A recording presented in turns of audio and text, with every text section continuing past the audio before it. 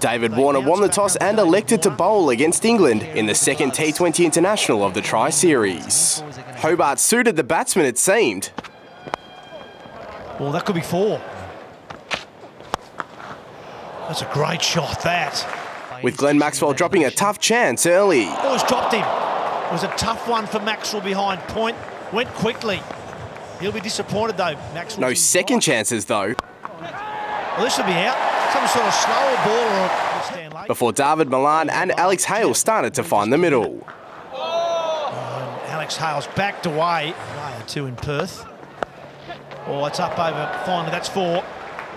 The runs began to mount before Ashton Agar broke the stand. Or oh, leading edge, and he's got one. First ball, first wicket for Agar. Glenn Maxwell's first saw the Aussies start to roll. Straight up in the air, should be out.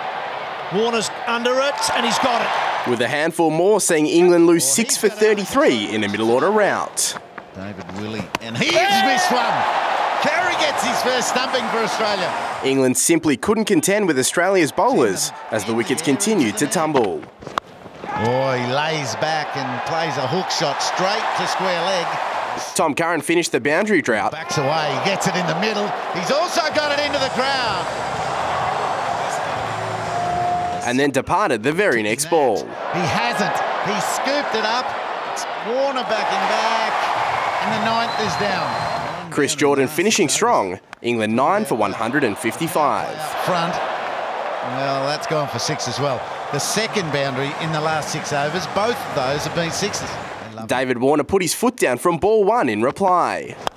Oh, straight back over his head. He's had a good look at it. Though David Willey was having none of that. There square. There's a man out there and he's catching it. Second ball, it's all happening. First Warner, then Australia's danger man Chris Lynn. Oh, he's got two! What a ripper! Full, fast and swinging. D'Arcy Short struck back. This one through the covers.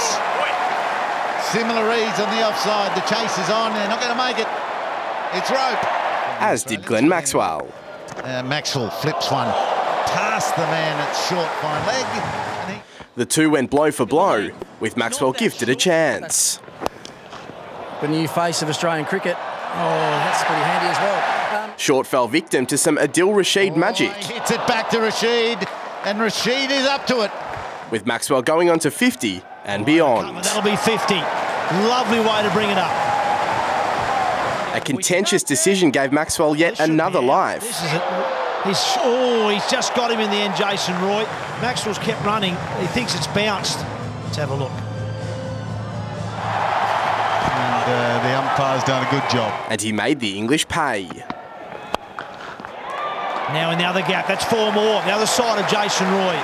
He hit boundary after boundary, He's placed that really well and timed it. Playing a lone hand in the middle order. Over mid off, make it 95. With three to get for a century, Alex Carey snuck a single to get Maxwell on strike.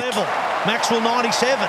Glenn Maxwell finishing in a way only he can. A second T20 International 100 seeing Australia home by five wickets. Yes, he has! A six for a 100 and a win for the Aussies. What a night at Bellerive. You little beauty. Good on you, Maxwell. What a brilliant way to bring it up, win the game for your country. Unbelievable innings.